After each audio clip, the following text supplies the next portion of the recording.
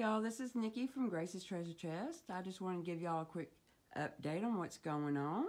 We are going to be doing a half off sale this weekend and give y'all a little sneak peek on what we have done this week. We have picked up a lot of new things. I'm just going to swing on through here and let y'all see these.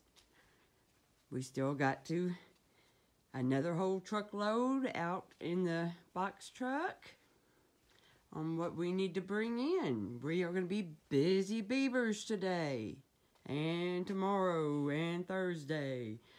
So y'all, we have a lot of cool looking old things, new things, really fun things. We just got to go through all this good stuff.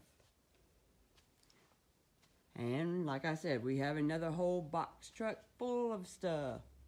So this ain't all of it. So y'all come on. Come see us this weekend. We'll have all this straightened up for you. Our hours, just as a reminder, Friday and Saturday from 9 to 4.